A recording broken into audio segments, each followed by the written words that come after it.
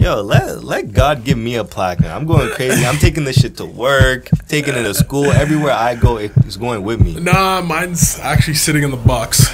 It's still in the box.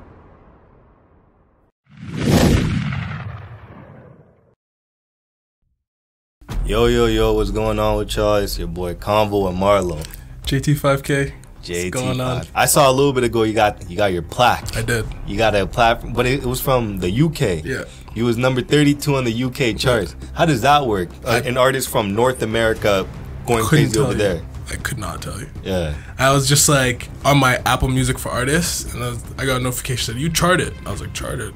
No I was way. like, oh, that's live. So then I go look, and then one of my A and R's text me. He's like, yo, you charted in the UK. Yeah. Like, we're gonna get a plaque uh, made up for you. I was like, oh, safe.